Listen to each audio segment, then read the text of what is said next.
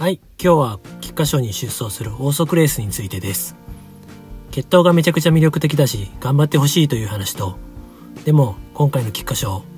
今週になって厳しくなってきたんじゃないかという話をさせていただこうかなと思っています。はいこんにちはじいじと申します。今週は最も強い馬が勝つという菊花賞ですね。近年は春の活躍馬は当然のように回避するためまた長距離を意識した決闘馬が減ってきたため、3歳最強決定戦というよりも、秋以降飛躍した馬の登竜門的なレースになりつつあります。そして今年も春のクラシックホース不在の大混戦と言われています。1986年以降、JRAG1 馬不在の菊花賞は7回あります。過去10回で見ると G1 馬不在の菊花賞は3回ありますが、どれもが5番人気以内の3頭で固く決着しているようです。今年も上位人気で決着するのでしょうか？そしてこれらの勝ち馬は全て小馬になって G1 をさらに勝利する馬となっている点も登竜門的要素は強く今週の菊花賞は見逃せませんね。そんな菊花賞で私が応援したい馬は法則レースです。そして私の注目は五代母のラジットプリンセスです。オーソクレースの決闘を語るなら三代母のキャサリン・バーでしょという方も多いと思いますが、ラジットプリンセスが素晴らしい馬だったからこそ、この決闘が日本で成功しているんですよっていう話をまずさせていただきたいと思っています。はい、ラジットプリンセスをご存知の方おられるでしょうか？この馬は古い馬なのであまり知られていないと思いますけども、この馬自身が活躍馬で、1964年のフランスセンギニーの勝ち馬なんですね。れっきとした G1 馬ですが、私自身も見たことはありません。ただこれから紹介するように血統表ではよく見る名前です。早速血統についてですが、ラジットプリンセスの母、ロイヤルアライバルは5戦未勝利です。注目は父、プリンスタジについてです。プリンスバラタインから5代続くプリンス、王子の血脈の持ち主です。この血脈で最も有名なのは、プリンスローズの子、プリンスキロだと思います。近代競走馬の多くに引き継がれている血統ですのでご存知の方も多いと思います。ただプリンスタジも守護馬として成功していてフランス2000ギニー3着などの成績で守護馬入りしましたが1967年1968年の2年連続リーディングサイヤーになっています。この馬が母系に入ることは最大の魅力としてプリンスタジの母マリンディの血統にあります。何が魅力かというとマリンディがナスルーラの全兄弟の妹なんですね。ナスルーラの血はほぼ全ての品系の中に入っているというぐらい有名な脂肪ですし、要するに代を重ねるごとにナスルーラーとマリンディーンで全兄弟クロスが発生するんですね。個人的に牝馬のインブリードや全兄弟クロスが大好きなので、マリンディーの血を持ち、自身も G1 馬であるラジットプリンセスはとても魅力的な牝馬です。そんなラジットプリンセスは繁殖牝馬としても色々と影響を残しています。まず父ロベルトのリーガルエンドオーバー。リーガルエンドオーバーの子としては、ダンスパートナー世代でフラワーカップを買ったイブキニュースター、父ニジンスキーがいます。イブキニュースターといえば当時超良血と騒がれたとても綺麗な馬でした。この血統背景とフラワーカップスイートピー連勝という実力からオークスではダンスパートナーを退けて2番人気に支持されるも6着とありその後も期待ほどの活躍はできませんでした。さらにこの馬は繁殖牝馬としても期待されていたはずですが活躍馬を残せてない点がとても残念な点です。なおこのオークスの一番人気は笠松の樹血ライデンリーダーでした。さらに同期のニジンスキー産駒には欧州ではラムタラがいます。また父にリファールを配するとエスプリ・デュノールがいます。彼はイタリアドイツで G1 を勝利しジャパンカップ3着という成績を持っています。ジャパンカップには2度参戦しそのうち1度は日本馬の初勝利となったカツラギエースのジャパンカップになります。ドイツやイタリアで G1 を勝っているということは欧州の中でも持久力という点で優れた血統だと言えると思います。そして何よりもラジットプリンセスの代表3区は父リボーのリーガルエクセプションです。リーガルエクセプションは、アイリッシュオークスを勝利し、凱旋門賞は直線抜け出した後、4着に入選している優秀な牝馬だったようです。そのリーガルエクセプションにネバーベンド系のチャンピオンサイヤーリバーマンをつけた子がオーソクレースの三代母のキャサリン・バーですリバーマンといえばリモエクセルの母父としても日本で実績がありますもっと有名なのは成田大臣和光近くの父リブリアのさらに父としても日本に血を伝えています。キャサリン・バーも自身は現役時代未勝利ですが重賞で2着3着に来ている実績があります。そしてキャサリン・バーの子にはサンデー・サイエネスとの間に生まれたタンザナイトがいます。タンザナイトはタンビライトの母親になります。エルコントルパサーとの間にはジャパンカップダートを勝ったアロン・ダイトがいます。そしてアロン・ダイトの一つ上の全兄弟のお姉さんに当たるのがオーソクレースの祖母クリソプレーズになります。まあ血統を語る上ではエルコンドルパサーは歴代日本調教馬の中でも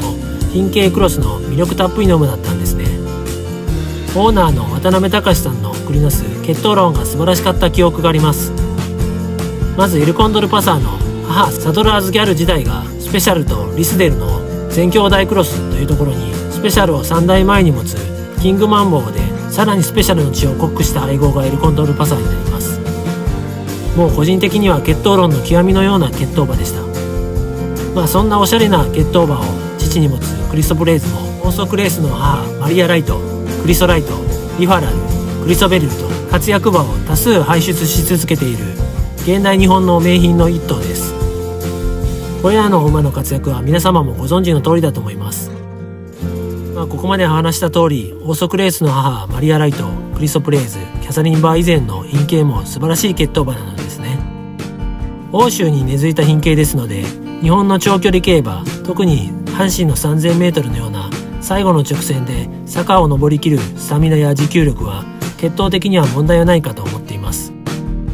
京都の 3000m よりもむしろ阪神の 3000m の方が合ってるんじゃないでしょうか。ということはオーソクレースは菊花賞を勝てるんだよねという話になりますがもともと私もオーソクレースが一番菊花賞で有利なのかなと思っていました。ただ今週になってから特にこれでは難しいのではないかなと思うようになったという話を続きでさせていただきたいと思います。高速レースの菊花賞での魅力的な点としては血統距離安城も魅力的ですね。こんな素晴らしい血統背景ですのでぜひ競走馬として成功して勝負馬となってもらいたいとみんなが思っているのではないでしょうか。父は菊花賞馬エピファネイアで距離は問題ないですし母系を見てもスタミナは十分です。3000m の距離は今回のメンバー全てが未経験ですので気にする点ではないと思います。ノーザンファームの期待馬でもあるためルメール騎手が早くから確保されてたいう点もとても魅力的な点だと思います。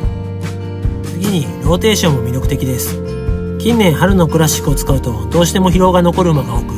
秋以降順調に使えない馬が数と出てきています。菊花賞に関してはワールドプレミア奇跡フィエルマンなど春に無理していない馬が勝つことが多く春に無理をさせなかった無理できなかったという点も魅力的です。前走の内容に関しても評価できると思います。対して見せ場のない内容でしたが骨折休養明けで3着と権利を取れているように一定の評価はできると思っています。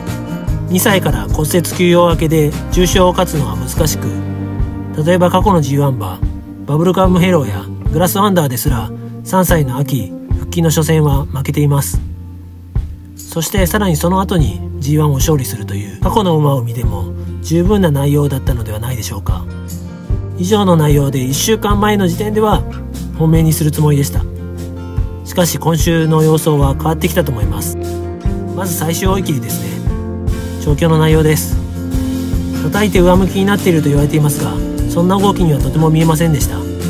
まあ、前走はいっぱいで最終追い切りをして今回は馬なりの最終追い切り。それでこのタイムという比較から見れば前走よりは良くなっているんでしょう。ただしめちゃくちゃいいという感じは全くしませんでした。と1年前の IB ステークスやオープルステークスの最終追い切りの動きほどでは間違いなくなかったと思います。本当に良くなるのは菊花賞を使ってもう一戦次行こうかなと感じました。次に馬体と馬体重ですね。最終追い切り後も発表された馬体重がさらに減っていました。前走も3歳春夏の成長期を休養に当てたために馬体重減の出走ノーザンファーム天栄で乗り込んできたんだなと言われていますが個人的には馬体の筋肉のつき方がホープフルステークスの頃とあまり変わってないという印象です。個人的には好きな馬なので成長してほしいという思いの一方で成長していないのではと疑わしい点がありました。さらに今回初めて阪神までの長距離走です。さらに馬体重を減らすようでは要注意かと考えています。おそらく前走よりもさらに馬体重を減らしてくるのではないでしょうか。と最後に枠ですね。大外の18番枠になってしまいました。阪神競馬場は 3000m で18頭立てが行えることがほとんどないので比較は難しいですが小回りの長距離レース直線の坂みんな3歳馬で初めての初の長距離戦だったら内枠の馬群の中で馬をつかせるのが王道の勝ち方だと思われます。客室的にも中段の前目で走ることになると思いますしもし周りの馬が引っかかるとすぐに行ってしまうという危険が一番高い馬になってしまったなと思っています。最後の直線での瞬発力ゴール前での持久力を道中温存するためには難しい枠順になったのではないでしょうか。そんなわけで今日は菊花賞に出走するオーソクレースの決闘の魅力と今回の菊花賞は今週になって厳しいレースになったのではという話をさせていただきました。とは言っても私この菊花賞ではこの馬を応援したいと思っています。ぜひこの先この決闘で世界に出ていってほしいという馬の一頭と考えていますのでこれからも応援し続けたいと思っています。それでは最後までご視聴いただきありがとうございました。菊花賞を楽しみましょう。